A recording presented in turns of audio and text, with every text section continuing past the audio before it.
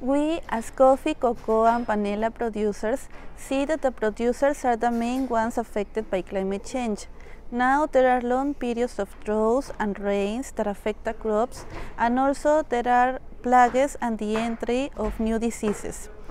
This is a risk because the producers are tempted to use agrochemicals and harm the organic production because they don't see more profitable in their production.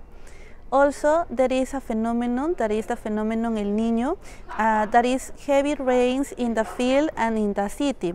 And this uh, makes difficult the transportation from field to the cooperative because it damages the communication routes. Uh, also for producers, uh, the family depends on their economy on their production. So if we have less volume uh, because of the production of coffee, of cocoa or cocoa, uh, it is a risk for the sustainable of the cooperative and for the families of the producers.